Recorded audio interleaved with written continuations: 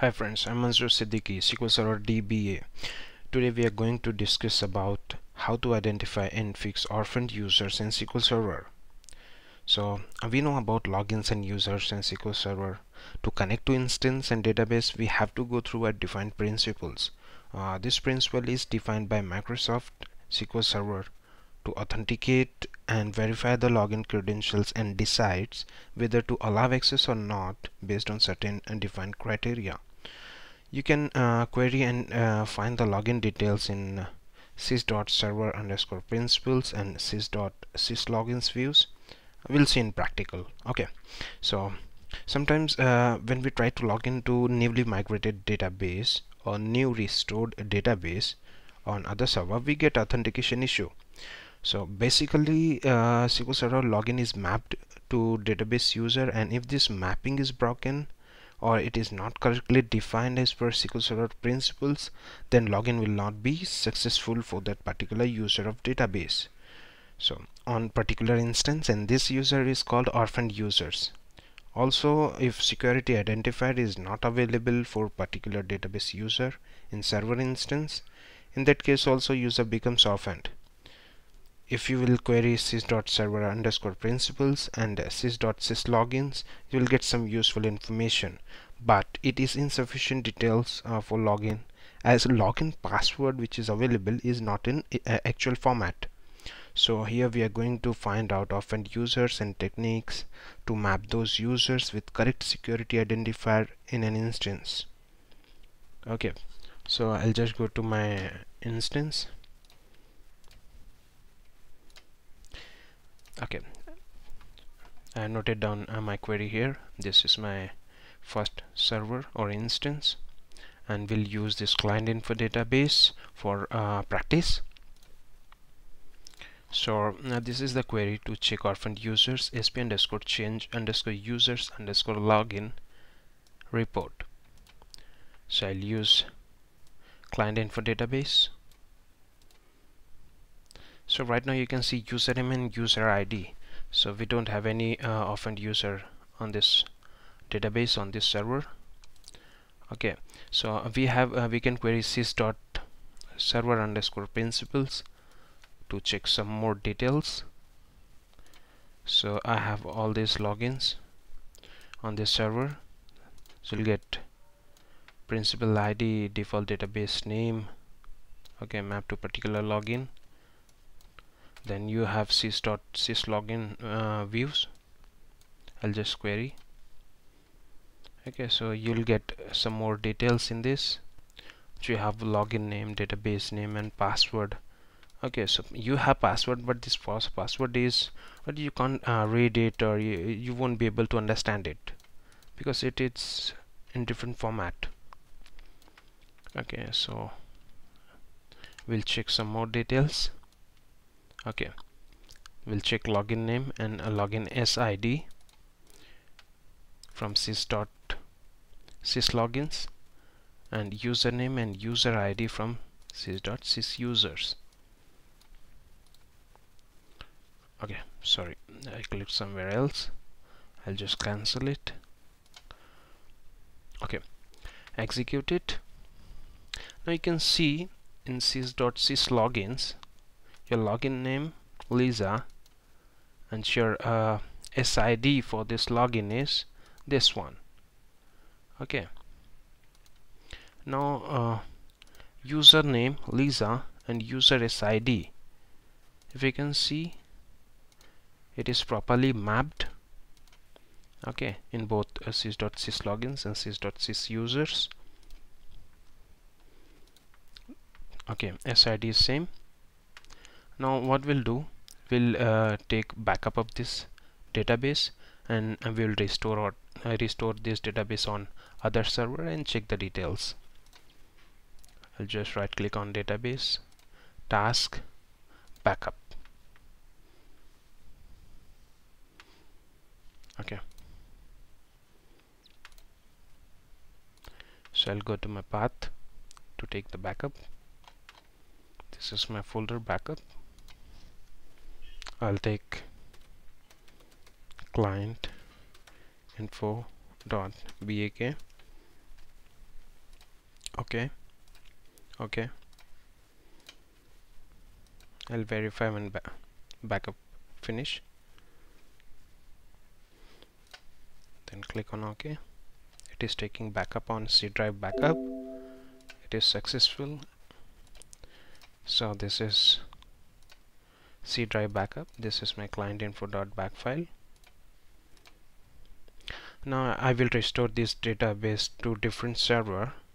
Okay I'll connect to my different server. This is SQL to different server different instance. I'll just uh, check the database. I don't have client info database here. So what I'll do I'll restore the database right click on database and restore. Now I'll select that file backup file which is available here. I'll click on client info and OK. Okay then select and OK. Okay I'll go to files. I want to restore my uh, database. Okay this master data file and log file on different path this is my restore db okay I'll show you this folder. This is my restore db C drive restore db right now there is no file. So this is my master data file. I'll give you a file name. Client info dot mdf and log file name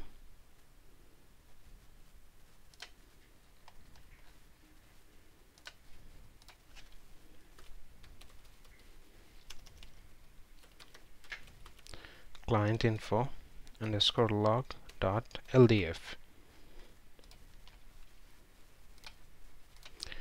okay I'll click on OK I'm restoring my database. Restored successful. Click OK now I'll just refresh this database node. Now we have client info. Okay so I'll go to this my SQL uh, 2 node. I'll open a window. This is my SQL 2 I'll just refresh it. Okay. Now I'll check if there is any uh, orphaned users.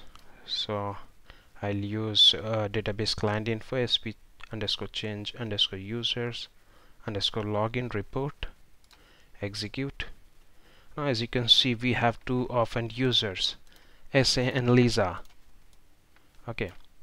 So with username and user SID now if we uh, cross check sys logins and sys users. Okay. Just select this and execute.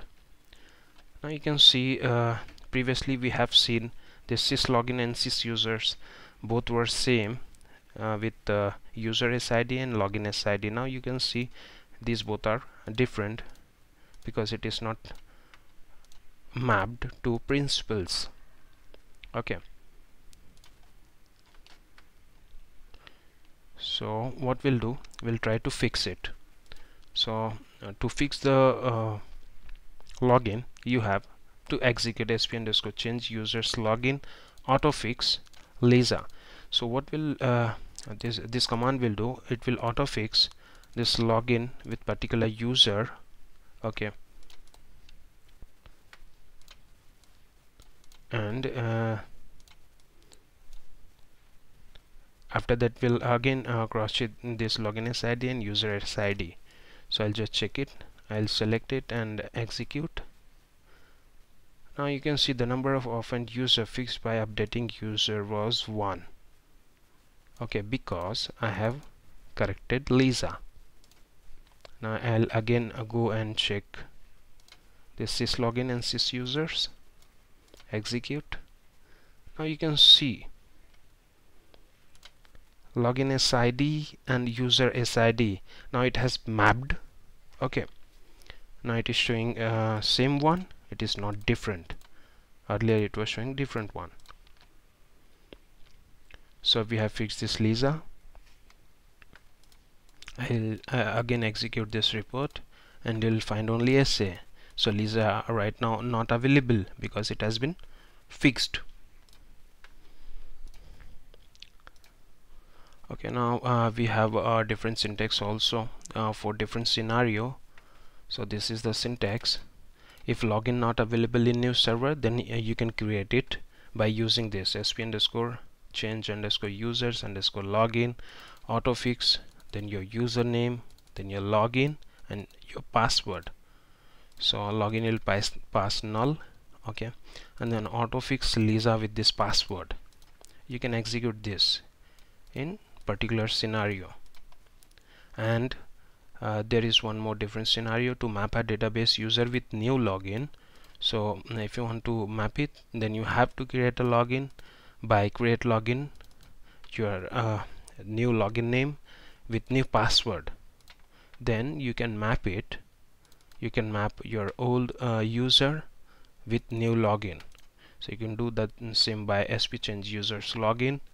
You have to specify update one which will map this user old user to new login.